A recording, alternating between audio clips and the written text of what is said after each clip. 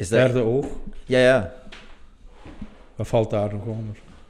Dat geen element van zevende chakra ook, maar... Dat... dat, dat nee. Zot, ik zou dat gewoon willen leren gewoon. Ja, waarom willen ze hem weg, hè? Van waar haalt je die, die info van die chakras? Eh, pff, dat is gewoon... Zij gaat het opnemen. Ja, ik ben al, eh, ik ben al online. Oké. Ehm, ja, nee, ik, ik, ik, ik, ben al 15 jaar geleden eh, geïnitieerd in, in, in, in, in een hoge Indische kasten. En ik heb eh, in mijn opleidingstijd in, in Engeland met Indiërs heel veel samengewerkt. En dus dat is mij bewezen van spreken met de paplepel ingebracht. En eh, ja, dat is verder ontwikkeld op het systeem dat dat ja, dat gebeurt. Maar probeer dat alsjeblieft niet te begrijpen. Het is niet de bedoeling dat, dat, dat je dat begrijpt.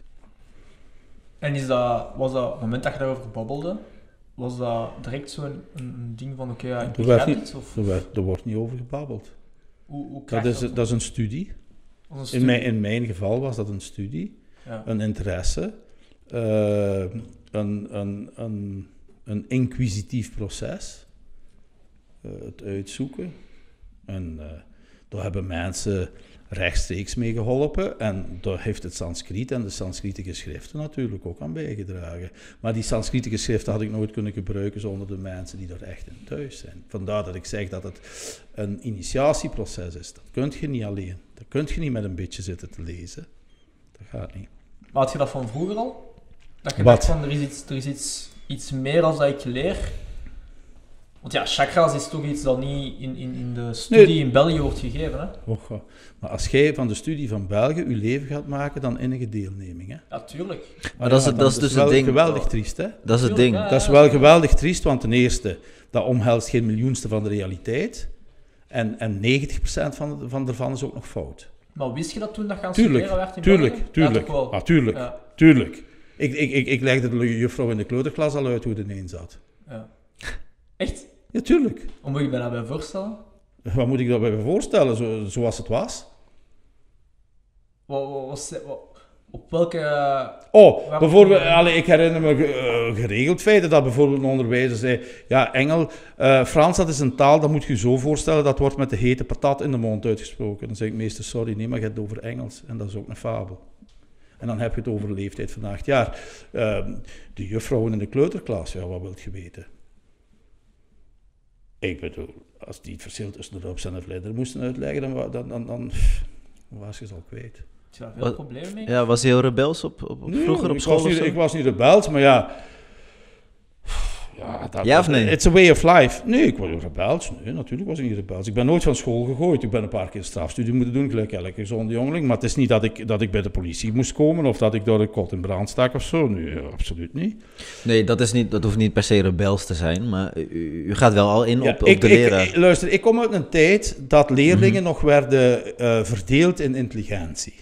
Ja. Dus ik deed de Latijnse en als je de Latijnse deed, dan was je toch al wat eh, intelligenter. En als je niet intelligent genoeg was en je moeder wou toch dat je de Latijnse deed, dan zei de perfect, nee mevrouw, dat gaat toch niet gebeuren, toch niet op deze school. En iedereen had er vrede mee. Wat was daar het gevolg van? Dat wij natuurlijk allemaal met jongens in de klas zaten die, die, die ja, bij de 1% verstandigen zaten. Die Ja. waren gewoon al sowieso slimmer dan de 99% van de anderen. Je denkt toch niet dat, dat elke leraar kon komen lesgeven? Denk je dat nu echt? Er werden de beste leraars werden daar gezet. En ik, ik druk met name leraars, want ik heb tot mijn 18 jaar nooit een vrouwelijke leerkracht gehad. Nooit, jamais. En van de, van de, van de eh, mannelijke leerkrachten, degenen die niet een klein beetje verstand hadden, die werden uit de klas uitgedragen. Hè? En die moesten dan maar in de moderne of, ergens in Andere- een andere school gaan ja. lesgeven, maar die kwamen niet op, op de Latijnse, kwamen ook de beste leerkrachten.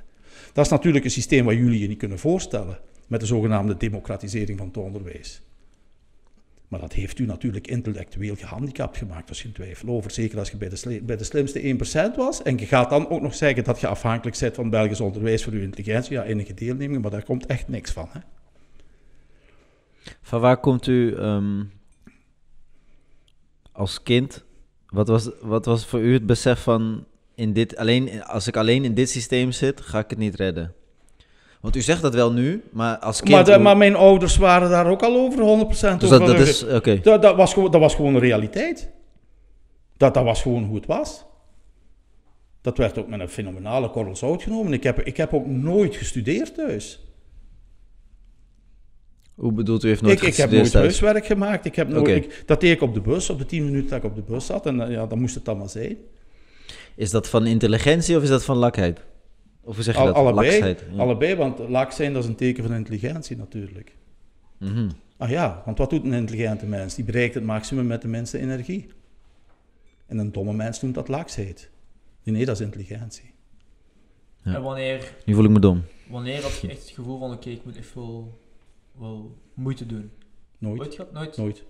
Dus als jij je studies chirurgie gedaan hebt, nooit? nooit. Welke studie heeft u gevolgd? Richting? In het, eh, hoe werkt, Ja, het? de- hoe eerst- werkt dat hier in het middelbaar? En, eh, Ja, dat, dat, was des- in, in de tijd Latijn wetenschappen. Dan ging je geneeskunde doen. Dan moest je algemene chirurgie gaan doen in Engeland. Dan moest je reconstructieve chirurgie gaan doen in Engeland. En dan cosmetische. Dus, ja, Echt in Engeland gestudeerd? ja, ja. Ja, ja. Londen of eh, waar zitten we ja in, in verschillende plaatsen. Maar ja. Is dat nu nog Ook altijd in Londen? of was het alleen vroeger? ja, nu is Engeland uit de EEG, dus dat gaat nu niet meer. Ja. Ah, ja, Wat tot twee, drie jaar terug was er nog altijd wel dat je naar Engeland moest. En moet het niet. Maar je, kunt, je- maar je kunt de Anglo-Saxische educatie niet vergelijken met de, met de Europese. Hè? Dat, kunt je, dat is, ik bedoel, daar zit een kilometers verschil tussen. Hè? Omdat men in de Anglo-Saxische cultuur wel degelijk van een verschil uitgaat. En men gaat wel degelijk uit van het, het feit dat een mens niet maakbaar is. En men gaat wel degelijk uit dat het in het belang van de samenleving is om de meest getalenteerde krachten de beste kansen te geven. Dat is allemaal vloeken in de kerk in Europa. Hè? Ja. Dat is typisch Engeland dan. Dat is typisch Anglo-Saxisch. Dat, dat, in die tijd zag je dat overal. In India, in Zuid-Afrika, eh, in Canada, in Amerika, overal. Nu, dat is ook allemaal wat verwaterd, want ik spreek nu ook alweer over 30, 40 jaar geleden. Maar dat is ongetwijfeld. Alleen de verlichting komt uit Engeland, hè, jongens. Anders zaten we hier nog echt in de bomen als we de Engelsen niet hadden gehad. Hè. Die zijn ons niet alleen met een oorlog komen redden. Hè. Nee. Die hebben ons tegen de, tegen de kerk eh, beschermd. Eh, die hebben ons tegen het dogma. eh, en, en, en, en tot op de dag van vandaag zult je zien eh, dat we die nodig hebben. Hè. Alleen die cultuur. Hè. Wij hebben een zeer, zeer povere intellectuele cultuur hier. Hè. We, zijn, eh, we zijn een gat. Hè. Waarom, waarom had je gekozen voor plastische chirurg? Een goede vraag. Ja, dat is Ik, ik, een- ik, ik, ben, ik, ik ben eerst arts geworden. Eh, omdat ik dan wat langer kon studeren. Dat was zeven jaar. Want je moest op 18 jaar kiezen. En wat is 18 jaar? Ik wou eigenlijk bioloog worden. Maar als ik biologie ging studeren, dan moest ik op 22 gaan werken. Daar voelde ik me niet rijp voor. Dus ik dacht, als ik geneeskunde doe, is dat al 25. Dat is al een beetje uitstel van executie. En dan in de loop van, van die carrière, die... Oh ja... eh, ja, dan heb ik gezegd van, eh, ja, op een keer eh, zag, zag ik een collega kuppens en herentals ooglidjes doen. Ja, en ik vond die manier waarop je geconfronteerd wordt met je daden, vond ik zeer eh, uitdagend. Hè? Een tandarts, ja, als jij naar een tandarts gaat, ja, dan, weet, dan weet je eigenlijk niet wat die in je mond heeft uitgestoken. Laat staan dat je weet wat een hartchirurg met je hart gedaan heeft, of een buikchirurg met je darmen. Bij een plaschirurg is dat anders. Als jij, als jij iets laat wegnemen, dan weet je tot op de millimeter wat er gebeurt. Je kijkt in de spiegel, je neemt een selfie groot. Dus de lat ligt zeer hoog. En dat was iets wat, ik, wat mij op een perverse manier aantrok. Dat soort van eh, continu geconfronteerd worden met het beste te halen uit de mogelijkheden. eh, op een manier dat je jezelf niks kon wijsmaken. Want mensen hebben geweldig de neiging zichzelf wat wijs te maken. Chirurgen zijn daar geen uitzondering op. Hè. En eh, bij plaschirurgie is dat toch moeilijker. Want die patiënt zal u er toch wel aan herinneren wanneer het niet goed is. Geloof mij vrij. In die, eh, welke tijd spreken we dan, dat u dat bent gaan studeren? Ja, ik heb mijn eerste bordvergroting gedaan in 89. Was dat toen Dus- allemaal niet heel nieuw? Eh, of, Nee, ja. nee wat, ik denk wat ik vernieuwd heb, is, is het volk inlichten via eh, het internet. Ik denk dat ik daar een pionier ben geweest. Eh, Ik ben een pionier geweest in, in, in een aantal zaken. In, eh, in het opereren zonder algemene narcose. In, het, ja, in een aantal chirurgische technieken die meer betrouwbaar waren dan de vorige generatie. Maar je kunt niet zeggen dat het niet bestond. Wat verschilt dan zonder narcose en met narcose? Ja, het, is- het wordt een heel andere manier van werken. Hè? Ja. Eh, als jij vet moet wegzuigen uit iemand die daar lam ligt, eh, dan is dat natuurlijk anders dan iemand die kan bewegen en waar je kunt zeggen, ja, maar kom eens langs de, lang- langs de tafel staan, want ik wil toch eens zien hoe dat is als je recht staat. Dat wordt het allemaal een heel ander verhaal. Hè? Is dat dan een voordeel voor haar dan, of voor u dan? Eh, ik, ik denk dat een chirurg moet doen waar hij comfortabel mee is. Maar ik denk, eh, binnen mijn systeem van werken ben ik eh, hoegenaamd veel comfortabeler met dat systeem. Ik denk dat mijn resultaten dan veel betrouwbaarder zijn. En wat andere chirurgen doen, dan moeten ze zelf maar Wat is, beslissen. wat is uw systeem? Het, eh, Ja, dus, dus het, het, het opereren onder, onder eh, een vorm van verdoving die veel lichter is dan algemeen narcose. en waarom, voelt, voel- vindt, u- waarom voelt u u daar gemakkelijker bij? Of, of, of? Omdat ik vind dat de resultaten beter zijn, dat ik een beter contact heb met de patiënt en dat, dat ik, dat Dus ik u- meer voorspelbaar kan opereren, maar dat ben ik. Hè. Maar u communiceert dus graag met de patiënt tijdens de ingreep? Of- of wa- wat is dat is, dan? dat, is, dat, is, dat is niet on the cards. Maar eh, ik, ik, ik, ik, ik heb graag patiënten die kunnen bewegen. Ik, ik heb graag dat ik opereer en dat ik tegen iemand die ik de ogen opereer kan zeggen: kijk eens naar links of kijk eens naar rechts. Ik heb het gevoel dat dat mijn resultaten verbetert. Heb je soms niet het gevoel zo van, oh, ik ben iemand aan het opereren? Dat je zegt van, ja, oké, ik ben in die persoon aan het snijden, of ik ben daar iets aan aan het veranderen. Dat gevoel had je nooit. Jongen, ik opereer al van toen ik 23 jaar Ja, maar was. de eerste keer dat je opereerde, Ja, dat is, dat is heel lang geleden. Hè? was dat geen... was dat geen 23? gevoel? Ja. Was dat, de eerste keer dat je opereert, maar toch een klein Ja, maar dat is, dat, is een, dat, is een, dat is een proces waarin je groeit. Hè? Ja. Dus, dus, dus je assisteert eerst, eh, ervaren chirurgen, je helpt ze en, en dat gebeurt geleidelijk. En natuurlijk is dat niet voor iedereen weggelegd, Ja. uiteraard. Moet je daar u een beetje van afzetten? Oh, dat, is, dat, dat, is, dat, dat wordt geen opgeleid. Maar Ja. ik denk, nee, nee, maar beeld u niks in. Dat is iets wat, op een, op een eh, verantwoorde manier minder dan 1 op 1000 van de mensen toegeschikt zijn. Ja, toch wel. Ja, je hebt daar een, een veelheid aan eigenschappen voor nodig. En als die toevallig in u zitten, dan is dat een goed idee om dat vaak te doen. En als die toevallig niet in u zitten, dan is dat een geweldig slecht idee om dat te gaan doen. En wist je dat van, van jongs af aan? Ah ja, ja dat wist ik zeker. Toch wel. Van jongs af aan.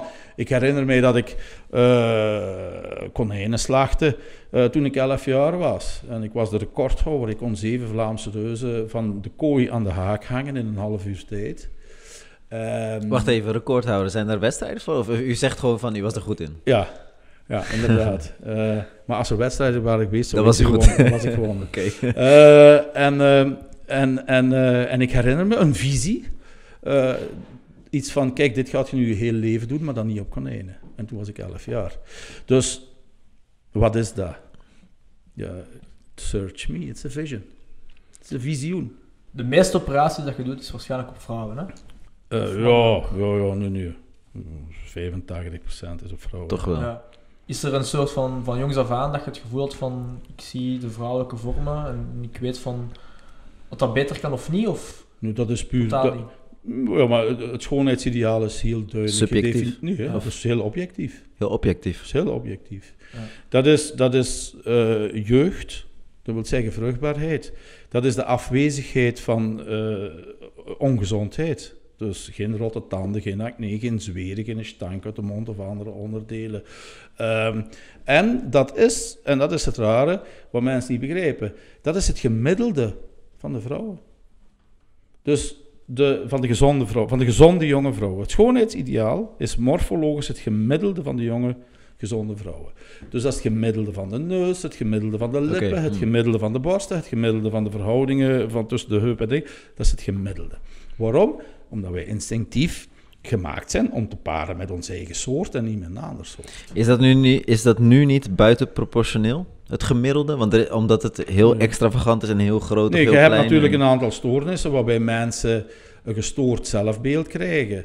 eh, en, en dan gestoorde eh, idealen krijgen of gestoorde manieren van naar zichzelf te kijken. En dat op zekere hoogte kunnen daar als plastisch chirurg in meegaan of niet. Eh, er zijn ook heel veel mensen die het hoegenaamd niet kan schelen hoe ze eruit zien. Hè? Die, die lopen rond met van die grote vratten op hun neus en die, die, die, die, die, die zien het probleem niet. Hè? Vind je dat, vind je dat een, een goede eigenschap of een slechte eigenschap? Wat is wat het is, hè? maar het is natuurlijk uh, voor die mensen, het is wel degelijk aangetoond dat iemand die er lelijk uitziet het minder goed doet in het leven. Die doet het minder goed op de paringsmarkt, die gaat minder uh, kinderen hebben, die gaat minder geld verdienen, die gaat minder succesvol in, in gelijk welke termen. Dus uh, als die mensen gelukkig zijn, zijn ze gelukkig, maar objectief gesproken, als je nou kijkt, zult je zien dat ze gemiddeld gesproken het minder goed doen. Dat, maar weer, we hebben het over gemiddelde. Dat wil niet zeggen dat een quasi-modo een multimiljonair kan worden. of, uh, dat heb ik niet gezegd. Of een geweldig lelijke vrouw toch super gelukkig kan zijn. En misschien wel tien kinderen kweken met dezelfde man dan nog. Dat kan, hè. Maar het is niet gemiddelde verhaal. Gaat u mee in het extreme? Als een patiënt bijvoorbeeld iets uh, buitenproportioneel wil? Ja, wat is extreem? Van niet het gemiddelde? Kijk, je moet, je, je, moet, altijd... Uh, kijk, een aantal patiënten die, die hebben natuurlijk een rare manier van naar zichzelf en de wereld te kijken. Maar goed, dan is de vraag. Uh, ja, die zijn doodongelukkig. Hè? Uh, en, en, en je kunt die naar een therapeut sturen tot, tot de koeien thuiskomen. Er gaat niks gebeuren. Um, terwijl als je, als je chirurgisch een probleem oplost, is het probleem tenminste opgelost. Dan kunnen ze zich gaan zorgen maken over iets anders. Dus ja, wie zijt jij om te zeggen van, ja, ja, ik kan u technisch, bijvoorbeeld, ik kan, ik, bijvoorbeeld, uh, jij vindt uw schaamlippen te groot, ja, dat is subjectief. Oké, ik mag u naar een therapeut sturen, ik weet niet hoe lang. Ja, luister, jij gaat uw schaamlippen te groot vinden, jij gaat daar een complex over hebben, dat gaat uw intimiteit verstoren en jij gaat er ongelukkig van zijn. Die therapeut gaat dat niet kunnen veranderen. Dat is niet maakbaar, dat zit erin. Ja goed, wie ben ik dan om te zeggen, ik kan ze er in veiligheid afknippen, gelijk jij ze wilt, en uw complex laten Wie ben ik dan om te zeggen, ik ga dat niet doen? Maar heeft u ooit bijvoorbeeld een patiënt die te ver gaat? Want dat, die zijn er ook die, die, die extreem veel Tuurlijk. aan hunzelf willen veranderen. Zegt u dan nee of gaat u er wel op in? Nee, nee, ik laat die zelf wel op het idee komen dat het geen goed idee is om dat te doen. Of tenminste dat het geen goed idee is om dat door mij te laten doen.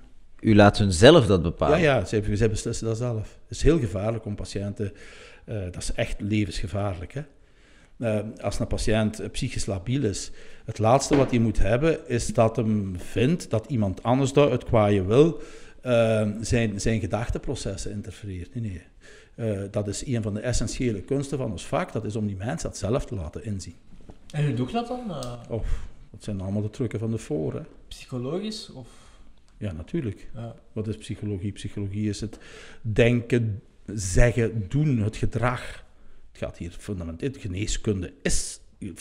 Fundamenteel is goede geneeskunde het sturen van een gedragsverandering.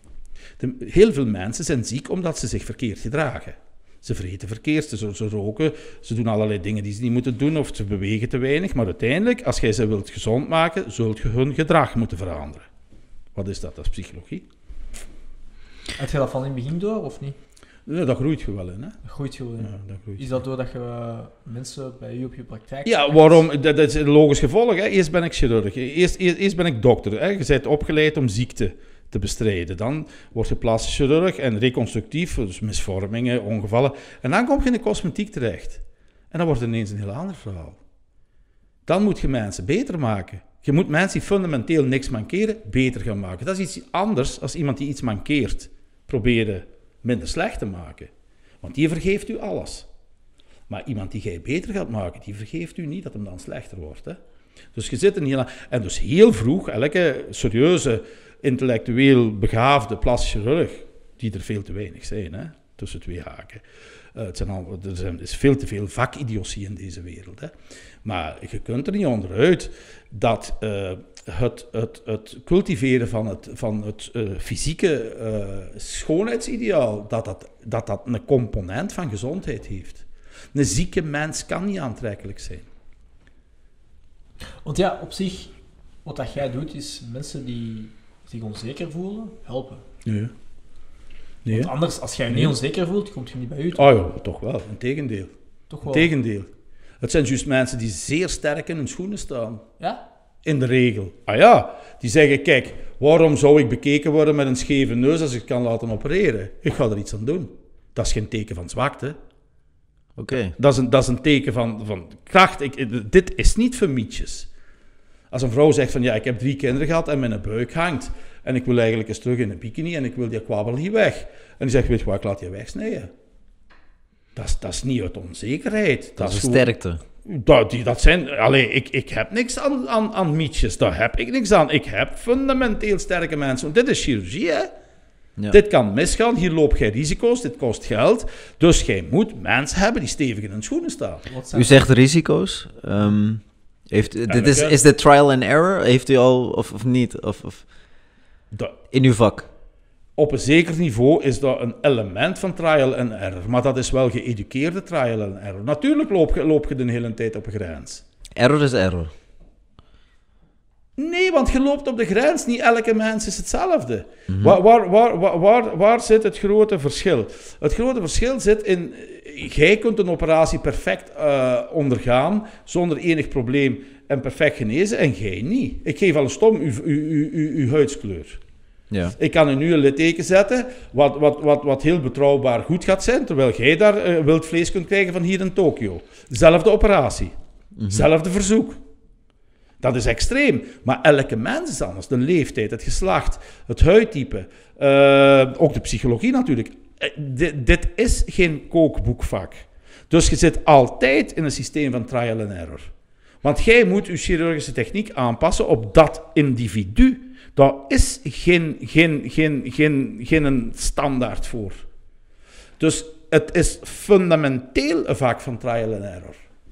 En natuurlijk, af en toe loopt dat mis. Natuurlijk, af, af, af en toe maak je een verkeerde inschatting. En dan moet je zorgen dat dat ook weer wordt rechtgezet. Dat hoort er allemaal bij. Waarom denk je dat wij met zo weinig zijn? Waarom denk je dat cosmetische chirurgie zo duur is? Dat is precies omdat je het niet kunt Risi- leren. risicovol Nee, nee, dat is precies omdat je dit niet kunt leren. Want als je dit ergens kon leren, dan, was de, dan waren de straatstenen ermee geplaveid. En dan, en dan was het, zoals in zoveel zaken, dan, dan was het niks meer waard. Nu. dit is een ander verhaal. Dit is volledig individueel. Wat is het risico? Hoeveel procent? Dat, dat ligt eraan welke patiënt en welke chirurg. Hè? Hoe, Ja. kan, hoe kan ik daar nu op antwoorden?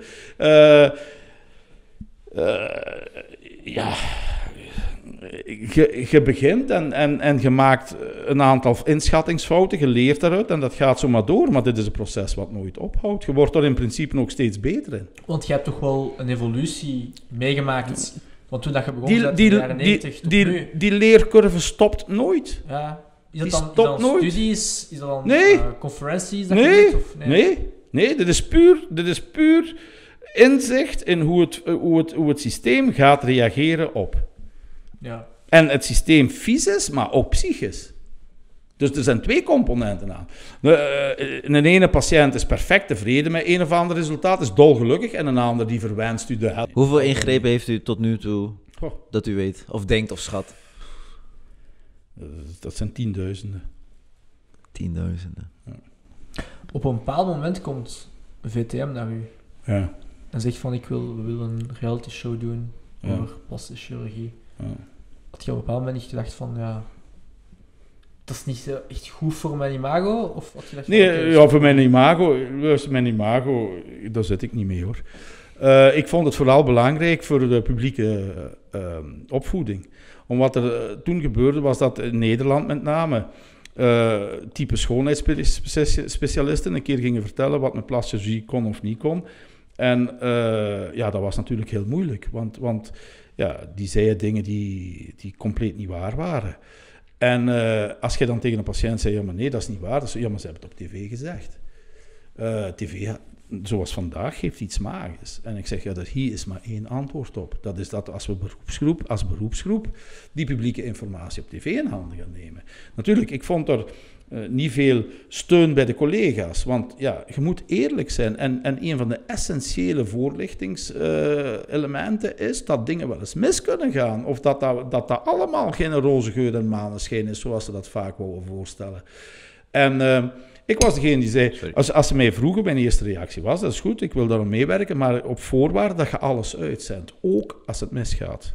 Dat had je zelf gezegd. Dat heb ik zelf gezegd. Ja. Nu, dat was natuurlijk muziek in hun ogen. Dapper, dapper. En dat is de reden natuurlijk waarom er geen andere collega was die bereid was op die basis te werken. En in die zin ben ik er nog altijd trots op dat we dat hebben kunnen doen, want het heeft geleid tot een Belgische bevolking die op vele manieren niet echt goed geëduceerd is, maar waar het komt op de verwachtingspatronen van plastische en kader, denk ik dat de Belgische bevolking mede daardoor een van de meest ontwikkelde ter wereld is. Hoor. As in uh, realistic, realistische verwachtingen. Ja, ja. ja. Wat, mij zie... vooral, wat voor mij vooral opviel, was uw programma, dat was heel direct.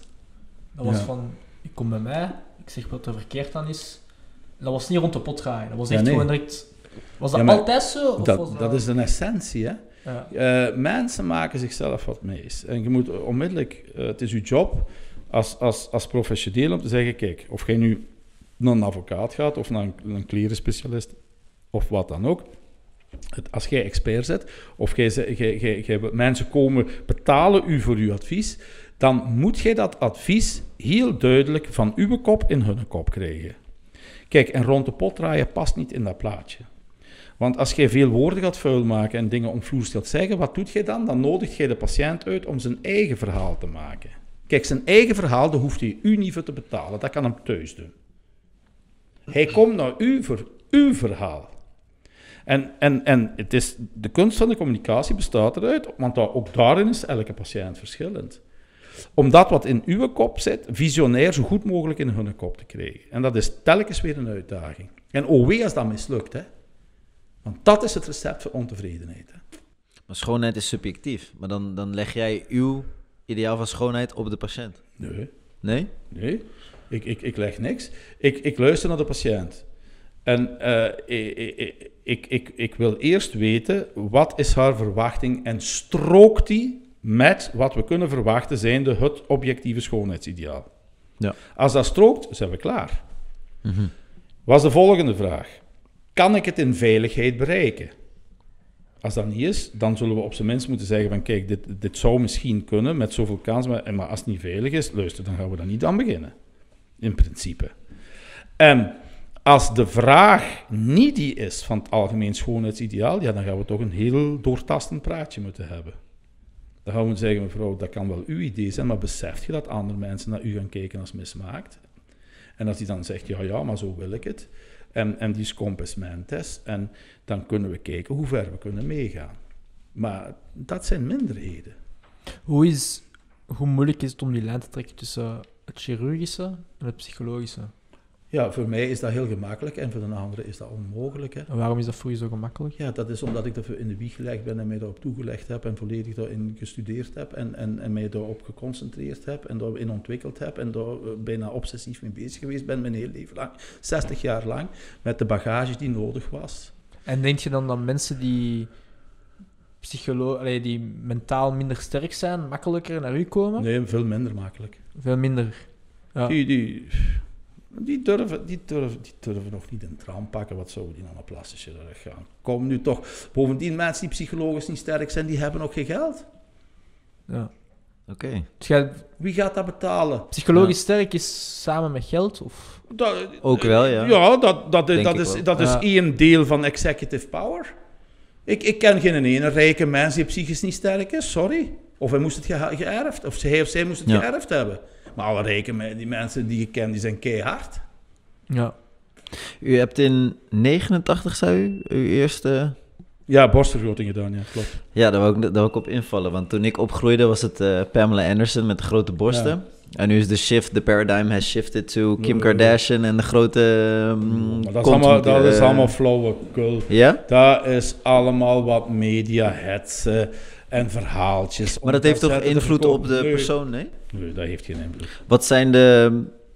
Wat waren toen de meeste ingrepen en wat, en wat zijn het is altijd hetzelfde. Het schoonheidsideaal is, is niet veranderd. Het schoonheidsideaal dat zit, dat zit in de genen. Dat is niet aangeleerd. Daar zit je mee besmet van beide bevruchting.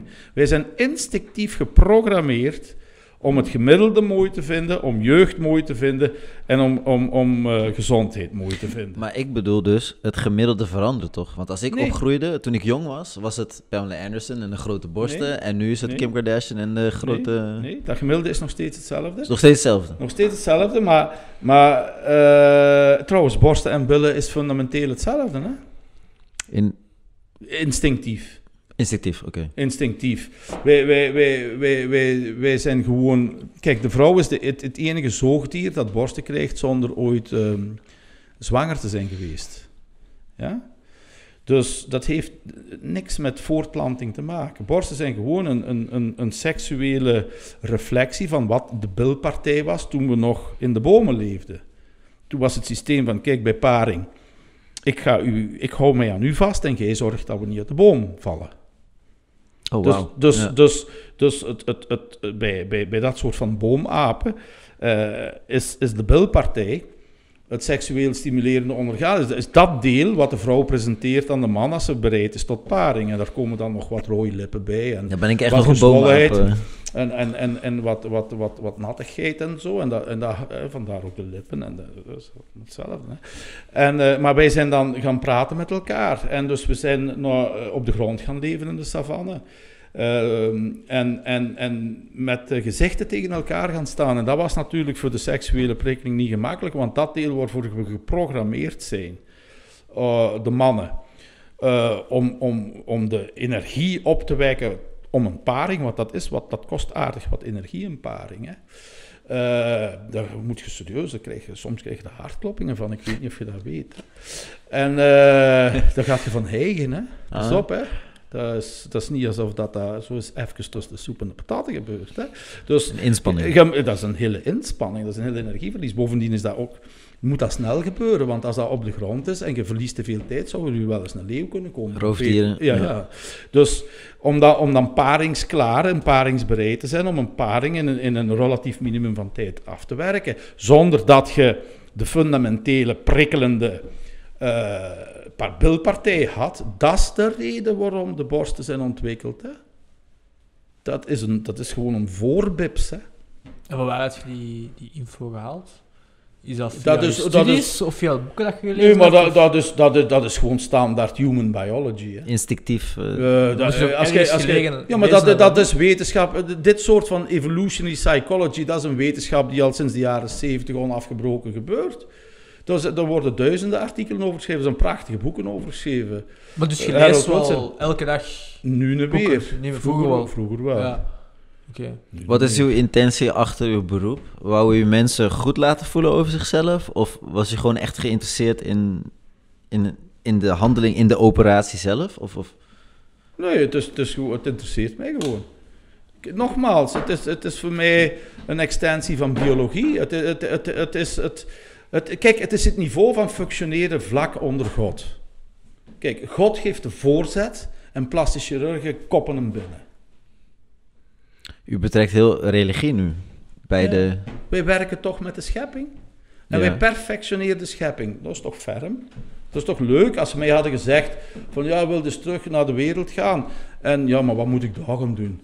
En ze zeggen ja, je moet loodgieter worden of, of wel een trekker of politieker. Of ja, je moogt eigenlijk eh, de schepping van God gaan verbeteren.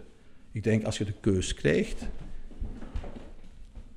dat die rap gemaakt is. Hè? Voelt u uzelf een beetje God? Als u de schepping van God gaat Nee. veranderen? Nee, maar ik sta wel op dezelfde voetbalveld.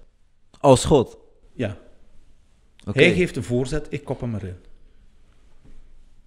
En misschien zijn, als ik dood ben, de rollen wel omgekeerd en stuur ik hem naar beneden. Hè? U zet uzelf op de, op de level van God? Nee, Jawel, u staat op hetzelfde ik voetbalveld. sta op hetzelfde voetbalveld, dat is iets heel anders. Ik, ik vind dat gewoon heel bijzonder dat iemand dat zegt. Ja. Ik heb dat nog nooit zo horen zeggen, Ja. dat vind ik echt bijzonder. Ja. Van waar haalt je die ideologie? Ideologie? Ja, van waar je zegt van ik ben als God. Dat is een ideologie, niet elke mens denkt zo. Wat is God? Wat is God voor u? Wat is de definitie van God? Een, een, een, een, Almachtige? eh, ja, Almacht? almachtige. Wat nog? Voelt, ja, voelt u zich dan machtig? Sorry. Wat nog? Ja, wat nog? Eh, almachtige. ehm, Alwetend? schepper. eh, Alwetend? Alwetend? alwetend. Ja, en wat nog? Jij bent u al wetend. Wat even, wat nog? Wat nog? Ja, vertel maar. Wat hebben we nog? Omnipresent, overal aanwezig. Ja. Dus God kan alles, weet alles en is overal aanwezig. Wat wil dat zeggen per definitie? Als hij overal aanwezig God is, is alles in, in alles. als hij overal aanwezig is, zit hij ook in u en in u en Hij in zit mij. in alles, ja. Dat wil zeggen, als God in u en in u en in mij zit, zit er in u en in u en in mij ook een element van alles weten en alles kunnen. Jij wou logica, jij krijgt logica. Is dat niet dogmatiserend? Dit is toch gewoon een woord, woordspelletje? Ja, jij, vroeg toch logica? Ik vraag al heel lang ik logica. snap, ik snap de logica. Ik snap de logica. Dus Ja. God zit in alles. God dus is ook- overal, dus hij zit ook in mij. Ja. Uh, Hoeveel, hoeveel water heb je nodig om water te bestuderen? Moet je een hele oceaan hebben of heb je aan een druppel genoeg? Wat is de ingreep dat u het meest heeft gedaan? In uw carrière? Ik, ik, zie, eh, ik zie dat niet in termen van ingrepen. Kijk, als ik, als, als, als ik een facelift doe op ene patiënt en ik doe dat op een andere patiënt, dan zijn dat twee totale verschil- eh, verschillende ingrepen. Zelfs de ene kant van het gezicht is een andere ingreep als de andere kant van het, verschil- van het gezicht. Omdat, eh, hoe moet ik dat verwoorden? Omdat nu is het die, bijvoorbeeld de Brazilian butt lift, daar lees ik ontzettend veel over. Dat is heel populair. Nee. Dat Of is dat totaal niet, eh, Nee, dat wordt door de reclame gestuurd en mensen Ja. worden er de kop mee gek gemaakt. Maar uiteindelijk eh, is dat een grote teleurstelling en de meeste plaschirurgen zullen nu zeggen van "J- juffrouwke, dat is niet echt een fantastisch idee wat jij daar in je kop hebt. De media maken er grote fouten en eh, door ofwel ongebalanceerd mensen gelijk Kim Kardashian aan het woord te laten, of eh, om, om ongebalanceerd chirurgen aan het woord te laten die daar dan denken geld mee te moeten verdienen. Maar als, in de realiteit betekent dit eigenlijk niks. Dat is een randfenomeen. Maar kunt u dan zeggen, er is een gemiddelde van deze aanvraag krijg ik heel vaak? Nee, ik krijg, ik krijg die geen twee keer op een jaar. Nee, dus dat is echt heel verschillend Dat gewoon. is een randfenomeen. Omdat ik uitga van eh, popcultuur, Nee, populair, jij gaat uit van wat aanvraag. je, ja, jij gaat vanuit wat je ergens, ergens in, in, in, in een of ander medium leest. Maar Ja, tuurlijk, praat- maar dat vraag maar ik aan u, Maar hè? jij Ja. praat nooit met een echte chirurg die in het veld staat. Nu wel, dus dat... Ja, natuurlijk. Ja. En, dat, en dat is het heel groot probleem. Iedereen, iedereen zit zijn inzichten in de wereld te baseren op een waan. Dat Mhm. noemen we trouwens, de- in Sanskriet heet dat ook Maya, hè? dat heet een naam. Hè? Dus het grote gros van de mensen leven in dat soort van waan. En hoe komt je onder die waan uit? Dat is door je af te vragen. Kijk, ik lees hier dan van die Brazilian butt lifts. Dan de eerste is, wie heeft dat geschreven? Waar komt dat vandaan? Ja, ja. Eh, maar dat doen mensen niet. Die denken dat is de realiteit, omdat dat in letterken staat. Dat, heet- dat neemt soms tragische vormen aan. Hè? Mhm, mhm. Dat is een zeer groot gevaar. Hè? Omdat ik denk dat de meeste mensen niet zo denken. Dus Nou, natuurlijk denken de meeste mensen zijn gewoon dom. Schapen Dom- bedoel- te- ik heb het over de schapen, Ja, ik heb het over de schapen. Dom om te helpen dat is toch duidelijk. Maar dan is er toch een, een overweldigende aanvraag van de schapen die, u- die u met Nee. dezelfde vraag komen. Ah nee, toch want, niet? ah nee, want die vangen bot, hè. Die, die, die, die, die gaan hier of daar eens vragen. Trouwens, het grote gros heeft de centen niet. Eh, dan moet je daar vet in spuiten. Ja, het die vrouwen die geen kont hebben, hebben gewoonlijk op een, oh, ergens anders ook geen vet om erin te duwen. Je kunt er geen vet van een ander in steken. En als je er vet in steekt, verdwijnt het weer. Nu, als je dat verhaaltje vertelt, zijn ze weg. Hè? Hoe verdwijnt dat? Als ik sorry. Hoe- nee, hoe verdwijnt dat? Hoe verdwijnt dat? Dat gewoon door, door metabolisme? Metabolisme. Jij, zuigt ergens vet. Vet is deel van, van, van, van je lichaam. Ja. Dat heeft een bloedvoorziening, daar, daar gaan bloedvaten in en uit en dat is een stofwisseling. Nu gaat jij dat wat vet uitzeggen, je zuigt al die, al die cellen kapot, je hebt wat olie, je hebt wat celkernen, je spuit dat in, die, bloed, die bloedvoorziening die is weg. Mhm. Dus je duwt dat dan eh, ergens in en dan, dan moet dat daar nieuw bloedvaten gaan ontwikkelen en terug gaan groeien. Ja, dat gebeurt, ja.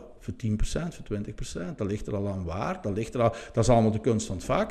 Als je dat doet bijvoorbeeld bij mensen die ingevallen zijn omdat ze aids-medicatie gebruiken, dan werkt dat zeer goed. Maar als je dat doet op een vrouw die sowieso al eh, niks mankeert en je duwt dat ergens bij wat lichaam dat eigenlijk helemaal niet wilt hebben, dan is dat op twee maanden weg. Eh, er kwam iemand, een gast, die zegt van er zijn vier eh, chirurgen ter wereld die een, een penis, iets van een penisvergroting kunnen doen. Is dat waar? Ja. Is dat niet waar? Kan dat? Kan het niet? Nee, ik, ik, ik, denk, ik denk dat dat flauwekul is. Ik bedoel, als ene chirurg kan, dan zal het een ander ook wel kunnen. Ik denk niet dat dat dingen is. Maar goed, ehm, nee, eh, Krijgt u die aanvraag trouwens? eh, dat gebeurt wel, ja. ja? en dan En mijn wat zegt u dan? Mijn antwoord is altijd hetzelfde. Ik zeg, ik zeg, ja, maar het is wel duur.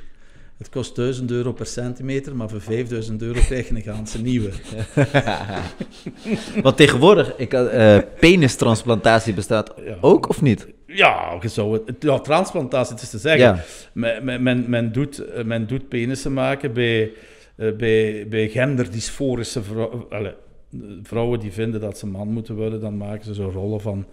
Technisch is dat mogelijk, een rol te maken van voor, arm, huid. En die dan eh, daar ergens eh, te, te, te, te parkeren, Mhm. eh, daar waar een penis zou moeten zitten. Maar vergelijk dat alstublieft niet met het orgaan, ehm, zoals dat biologisch bedoeld is. Dat zijn, dat zijn allemaal van die randfenomenen. die geweldig tot de verbeelding spreken, die zelden of nooit worden gedaan. Ehm, en waarvan men, als men eerlijk is en de lange termijn tevredenheid van de patiënt gaat eh, nakijken, in zo'n geval bijvoorbeeld kun je er donder op zeggen dat de patiënten die dat gehad hebben binnen de tien jaar zelfmoord hebben gepleegd, eh, tenminste de helft ervan. Toch wel? Zo. Waar trekt u de grens? Als iemand iets vraagt en u zegt van, nou, dat, dat gaat bij mij niet in. Ik, eh, de, grens- de patiënten trekken die grens zelf. Als iemand komt voor zo'n dingen, dan eh, ga ik daar een gesprekje mee hebben. Eh, dan ga ik een psychologisch gesprek hebben. Eh, dan ga ik hun wijzen op waarom ze die vraag stellen, wat er eigenlijk fundamenteel speelt om, om, om die vraag sowieso al te stellen, wat de risico's zijn van die ingreep. Eh, ik ga hun daarover inlichten. Jongen, ik ben nog niet half weg en die lopen al huilend buiten zonder betalen. Zo. Oké. Ehm, ik wil bedanken om het interview. We zijn al 45 minuten aan het. Is dat nu al drie kwartier? Ja, dat gaat echt rap. Echt snel. Zot. Ehm, ik vond het heel interessant. Ja, Ja? ik vond het heel interessant. Ja, ja Eh, zeker. Bedankt om te komen. Graag gedaan. Zeer zeker. En, Ziet u het nog eh, zitten om een deel 2 te doen ooit? Ja, ooit. hè. Ik zou graag Ooit. een deel 2 willen doen. Ja, dat is Dat goed. we misschien eens drie uur kunnen, kunnen praten. We zullen beginnen in de middag misschien. Ehm, veel succes nog. U ook. Ik, ik, ik Dankjewel. wens u het beste met uw projectje. Dankjewel. En, eh, Hetzelfde, dankjewel. Het is inspirerend en eh, men weet nooit genoeg.